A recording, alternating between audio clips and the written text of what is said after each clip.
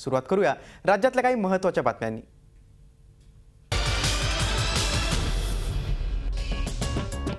राज्य सरकारी कर्मचाऱ्यांना सणासुदीच्या दिवसात एक खुशखबर आहे. या कर्मचाऱ्यांना दहा टक्के महागाई भत्ता देण्याचं वित्त विभागानं मंजुरी दिली आहे. केंद्राप्रमाणे राज्य सरकारी कर्मचाऱ्यांच्या भत्त्यातही वाढ करण्यात आली आहे. या निर्णयामुळे अगोदरच वेगवेगळ्या आर्थिक संकटाशी झुंज देणाऱ्या राज्य सरकारच्या तिजोरीवर आठशे कोटींचा बोजा पडणार आहे.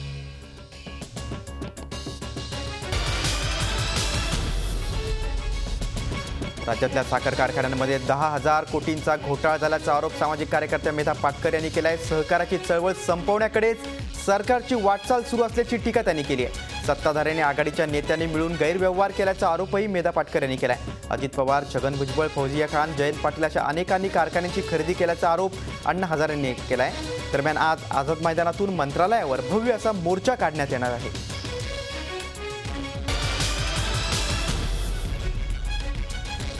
अण्णा हजारेंनी भाजप नेत्यांवर केलेले आरोप चुकीचे असल्याचा दावा भाजप नेते गोपीनाथ मुंडे यांनी केला आहे तर साखर कारखान्याची विक्रीबाबत अनेक तक्रारी करण्यात आल्या. त्या सर्व तक्रारीच्या चौकशीचे आदेश अण्णा हजारे यांची मागणी करण्यापूर्वीच दिलेले आहेत असं सहकार मंत्री हर्षवर्धन पाटील यांनी स्पष्ट केलं आहे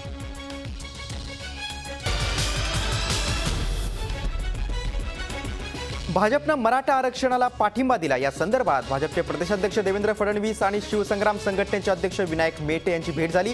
त्यावेळी देवेंद्र फडणवीस यांनी काँग्रेस आणि राष्ट्रवादी काँग्रेसवर तोफ डागली. दोन्ही पक्ष निवडणुका डोळ्यासमोर ठेवून मराठा आरक्षणाचं राजकारण करत असल्याचा हल्लाबोल त्यांनी केला.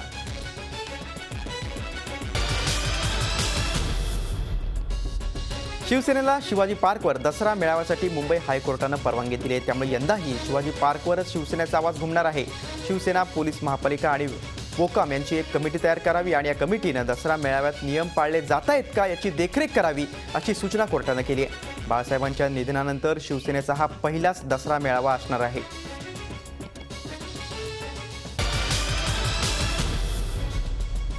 मुंबईतल्या परळमधलं नरे पार्क मैदान बचावासाठी शिवसेना सरसावली आहे. त्यासाठी सह्यांची मोहीम सुरू करण्यात आली आहे. या मैदानावर रेन वॉटर हार्वेस्टिंग प्रकल्प राबवण्याबरोबरच क्लबचं बांधकाम करण्याची योजना मनसे आमदार बाळा नांदगावकर यांनी आखली आहे. मैदानात असलेल्या अभ्यासिकेचं उद्घाटन बाळासाहेब ठाकरे यांनी केलं होतं आणि त्यांच्या या स्मृती जपण्यासाठी या भागातल्या शिवसैनिकांनी या प्रकल्पाला विरोध केला आहे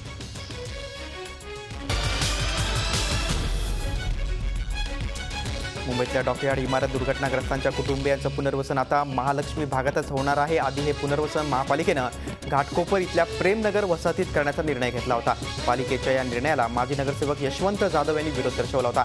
डॉकयार्ड कुटुंबियांच्या वाढत्या विरोधामुळे पालिकेनं रहिवाशांचं पुनर्वसन डॉकयार्ड महालक्ष्मी परिसरातच करण्याचा निर्णय घेतला आहे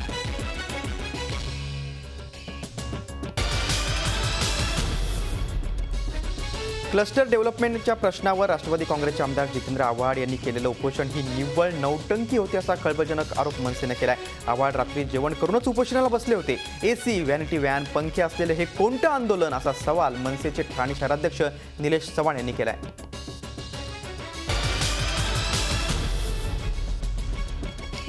सुरेश वाडकर यांच्या नाशिकमधल्या मुक्तीधाम जवळच्या जमिनीचा वाद मिटलाय. नाशिकच्या अतिरिक्त जिल्हाधिकाऱ्यांनी या जमिनीची मालकी वाडकरांना देण्याचा निर्णय घेतलाय. गेल्या पाच वर्षांपासून नाशिक रोड परिसरातल्या जमिनीच्या व्यवहारात सुरेश वाडकर आणि सोनू निगम यांचे कोट्यवधी रुपये अडकले होते. खरेदी विक्री करताना महसूल यंत्रणेचं फसवणूक केल्याचा वाडकरांचा आरोप आहे.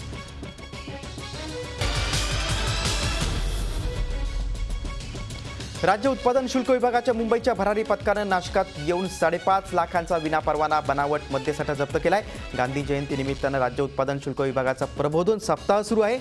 जिल्ह्याच्या विविध धाब्यांवर दारूचा पुरवठा केला जाणार होता. त्याआधीच भरारी पथकानं नाशिक पेट रोडवर सापळा रचून हा मद्याचा साठा जप्त केला असून तीन जणांना अटक केली आहे.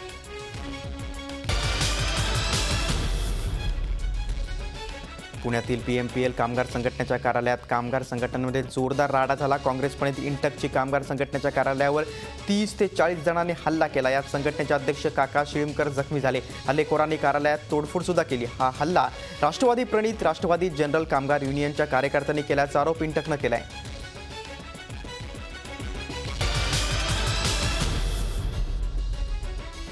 झी मीडियाच्या वृत्तामुळे येवल्याच्या कोटम गावात वर्षानुवर्ष सुरू असलेली उलटत टांगण्याची अनिष्ट प्रथा आता बंद झाली आहे. गेल्या अनेक वर्षांपासून नवरात्रोत्सव दरम्यान कोटम गावातल्या जगदंबा माता मंदिरात बायकांना उलटत टांगत नवस फेडण्याची प्रथा सुरू होती. याबाबत झी मीडियानं वृत्त प्रसारित केलं होतं. ही बातमी पाहून ही प्रथा बंद करत असल्याचं विश्वस्तांनी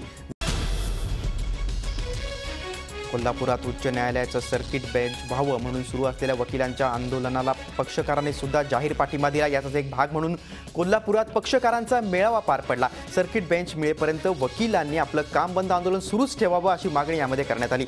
त्यामुळे या सर्किट बेंचच्या लढ्याला आणखी बळ मिळालंय.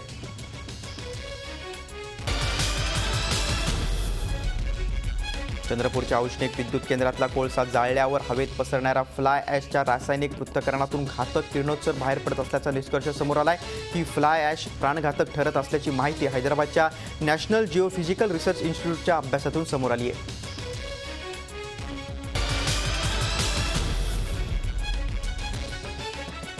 एका महिन्याच्या तानुलीस जिवंत जाळल्याची घटना औरंगाबाद जवळच्या वाळूंज भागात घडलेली आहे. तरी सगळी मंडळी झोपलेली असताना अज्ञात व्यक्तीनं पहाटेच्या सुमारास या बालिकेला पळवलं आणि दुपारी या मुलीचा अर्धवट जळलेला मृतदेह सापडला. या घटनेनं परिसरात प्रचंड दहशत निर्माण झाली आहे.